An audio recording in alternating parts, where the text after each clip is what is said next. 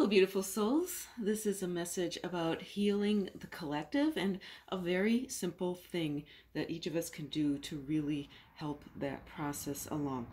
Um, I'm going to be illustrating using this wonderful set of Sharpies that I picked up on clearance recently. I went in to get black ones and left with every color Sharpie under the sun. So um, just going to be using this to illustrate.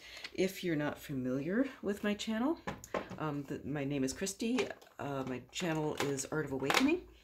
And Art of Awakening is about exploring ideas and methods for realizing yourself as a divine creator with nature as a guide. So, um, one thing that I've really noticed and you know that I think is is something that doesn't get talked about a lot because it's almost become like this cool thing to do is that a lot of people who really care about the planet, right, um, have this attitude about humanity that I think is really not serving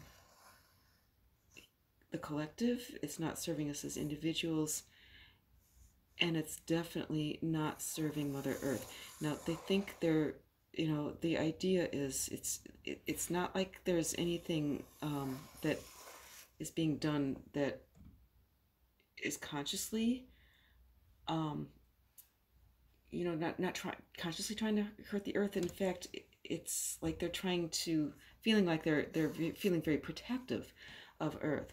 Um, but the concept is that we as humanity, humanity is wrecking the earth, that we're destroying the earth, and that humanity is really a bad thing and ought to be wiped off the face of the earth, and that the earth would be a lot better off without humanity on it.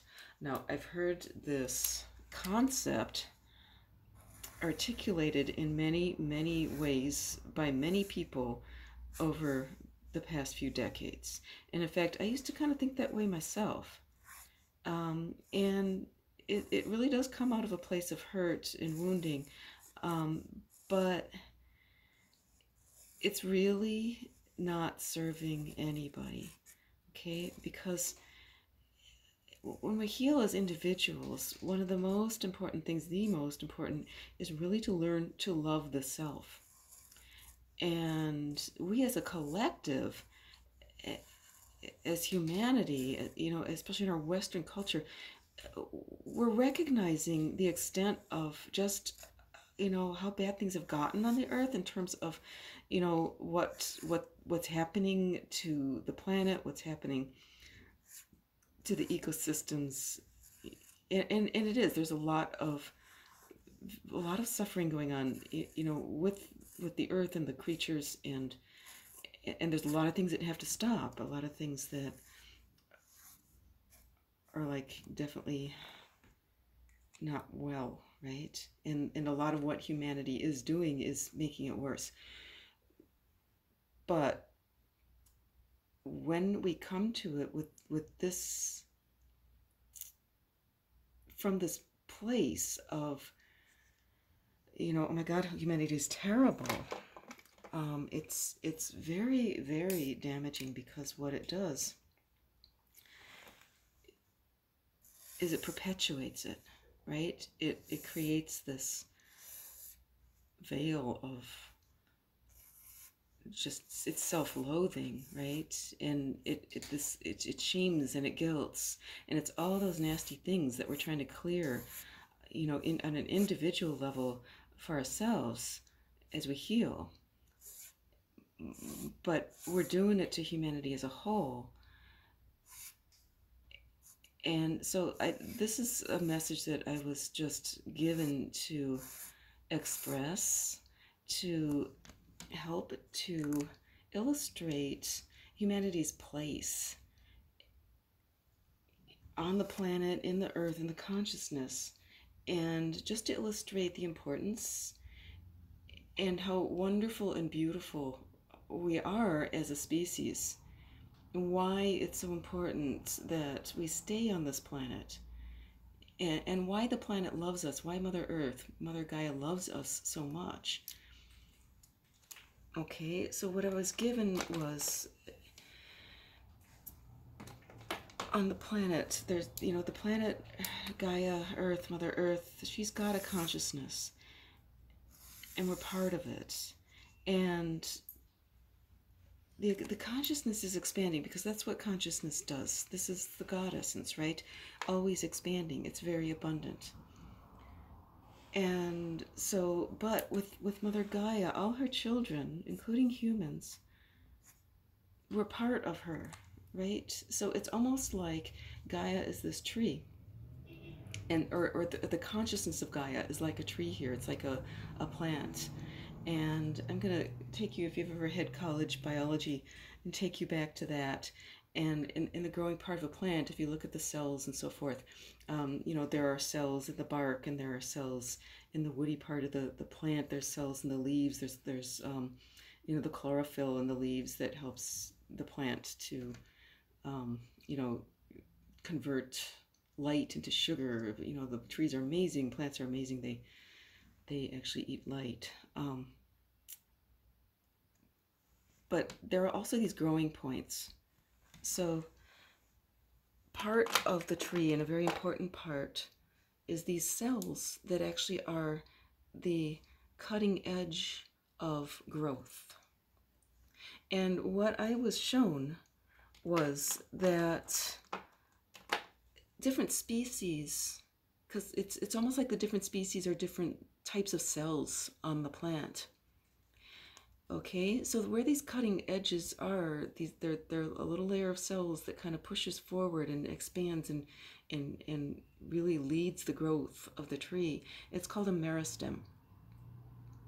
And a plant will have multiple meristems. Like in this one, there would be one here going out that way. There would be one here that run out that way. And here is the one at the top, and that's the one that's leading the growth, right? And it's called the apical meristem, which means the leading or the top um, the apex, the, the, the top.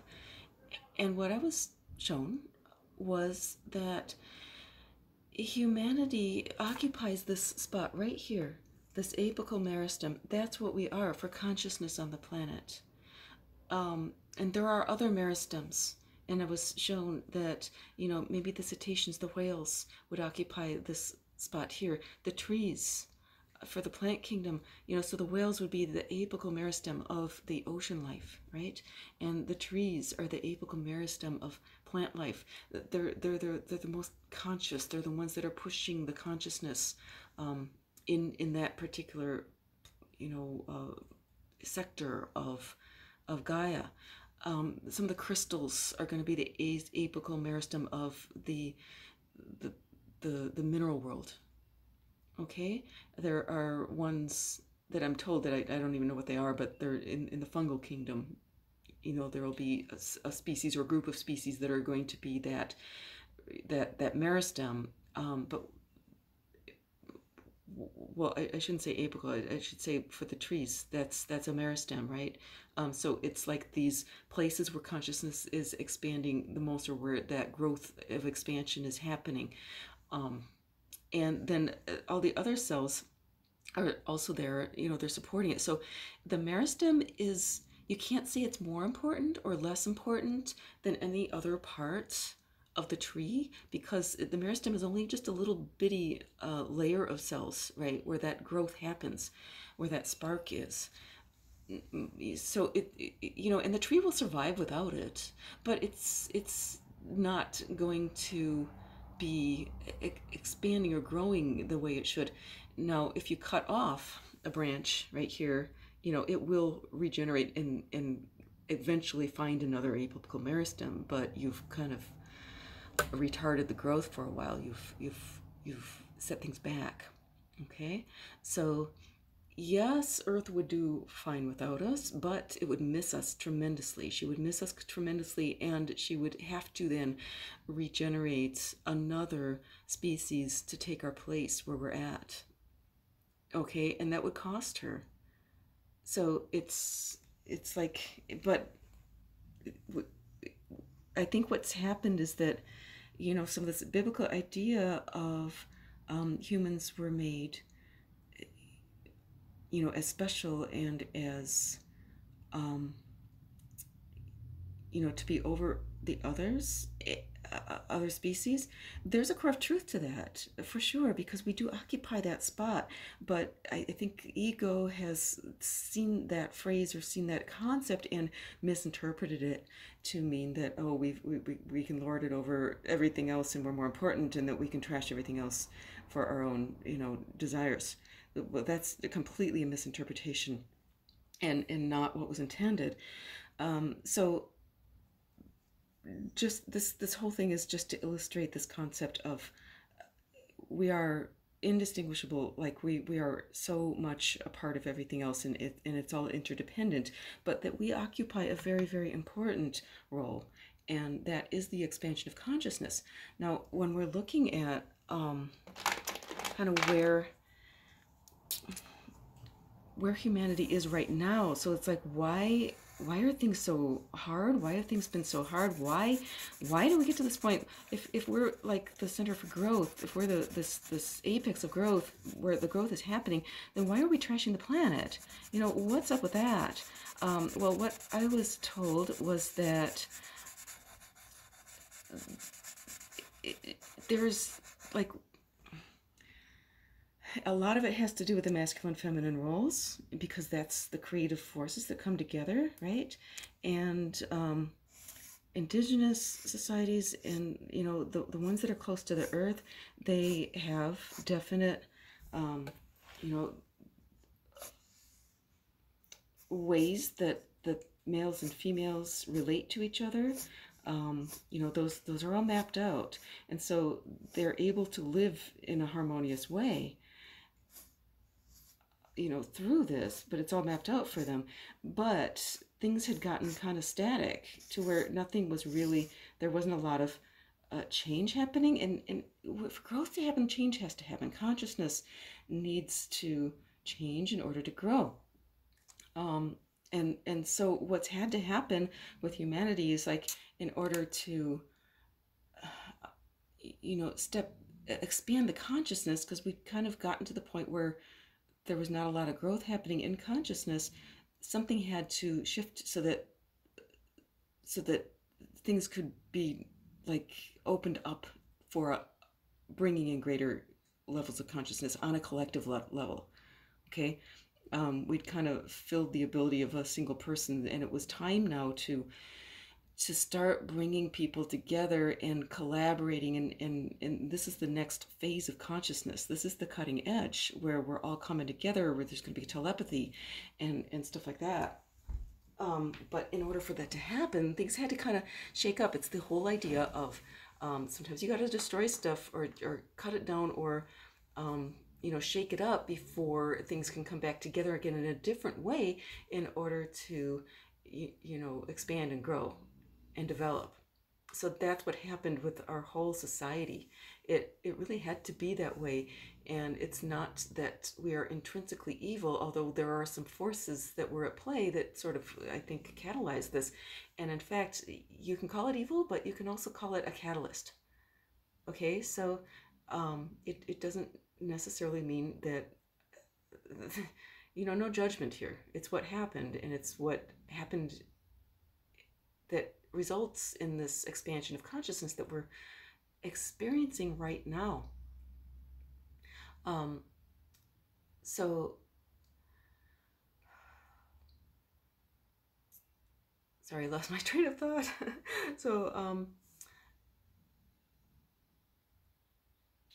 but it all comes down to this is what had to happen, this is where we're at, and right now it's really, really important for us to to heal a lot of this wounding that had to happen or that happened in the in the in the process of this dissolution of of of culture of society right? And now is a time that we're we're beginning to remember who we are and remember why we're here and to start to pick up the pieces and put them back together in a different way that's that's that's going to really expand consciousness in a huge way. This is like a supernova kind of expansion happening on the planet right now, and and a lot of it is is happening within humanity. I mean, it's happening in all the species, but for humanity, we're, we're a key part of that.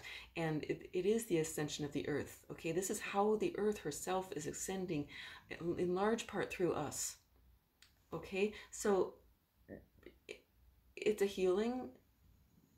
And this is why it's really, really important right now to to catch ourselves when we start thinking bad thoughts about humanity, thinking that humanity is bad, thinking you know that it's shameful to be a human, or or you know feeling guilty about what we've done to the earth. Um, so yes, it's very important to be aware of what's happening to the earth and to start to shift how we you know act in order to you know begin to, to, to heal what's happened but as if you have done any healing on your own, you know that it's really, really hard to heal when you keep, um, you know, thinking bad thoughts about yourself, right? So it's really important to have that self love. It's also really important to, to love the collective, to, to love humanity, to recognize how important humanity is and to value humanity. And this is a message that I was given to relay um, from Mother Earth. She loves us. She loves us tremendously. Mother Earth loves us like there's no tomorrow, and um, she really wants us to love ourselves as well. Okay, so I, I hope that uh, this hopefully is resonating with some people. Um, if you've enjoyed this, then then please do like um, like this video and share it because I think it's a, it, it feels like it's a really important message. It needs to be shared. It needs to be heard it needs to be definitely heard. Um, so thank you, thank you so much for watching. I really appreciate it. Uh, if you would like to uh, subscribe to my channel, if you're seeing this on Higher Self, it's Art of Awakening, and um, I have contact information underneath the video that I've posted on my channel. Thank you so much, and have a lovely day. We'll catch you again tomorrow.